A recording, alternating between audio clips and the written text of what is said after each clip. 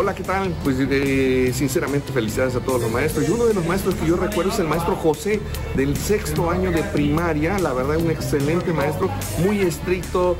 Bueno, era el clásico de la reglita, que nos daba reglita en la mano, nos, nos jalaba de la patilla y todo. Pero la verdad, muchísimas gracias a ese maestro porque aprendimos muchísimas cosas muy importantes y sobre todo a vestir muy bien. Siempre la camisa por dentro, zapatos bien boleados y listo. Gracias, bye, felicidades.